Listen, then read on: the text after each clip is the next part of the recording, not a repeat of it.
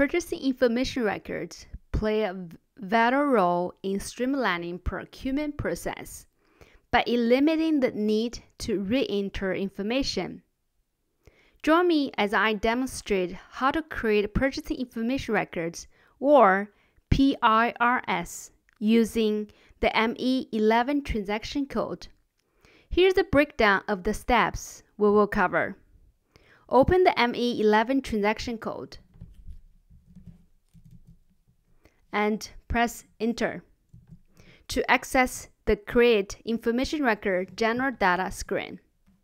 Begin by entering the supplier number 101000. In the material field, enter boat 2023. Next, for the purchasing organization, you enter US 00 and plant MI 00.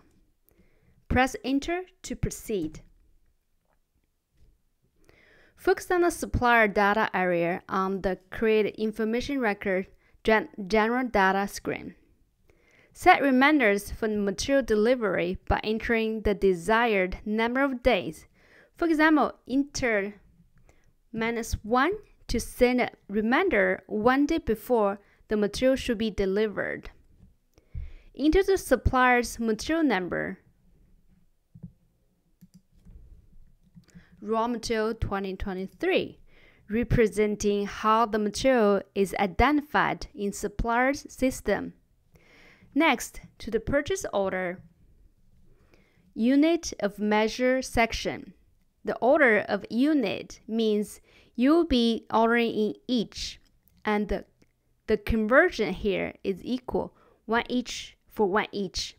Ensure the order unit matches the quantity you will order, and set the conversion if needed. For example, if ordering a box and receiving 100 each, that information will be entered here. Click on the purchasing organization data 1. First, you will enter your planned delivery time field. The planned delivery time is the default amount of days for when a material delivery is planned. You enter 2.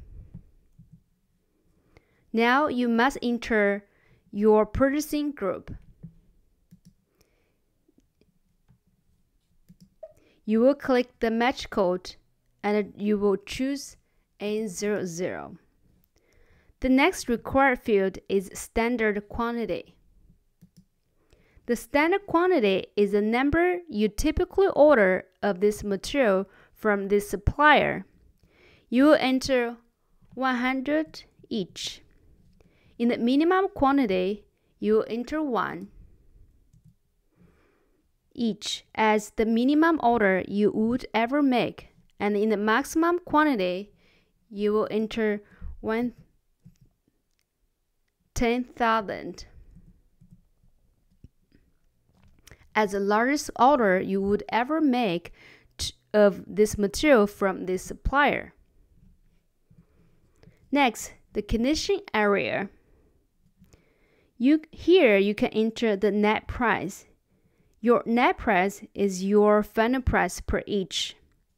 You enter 50 cents per each. Once you have entered all the necessary information, click the Save button.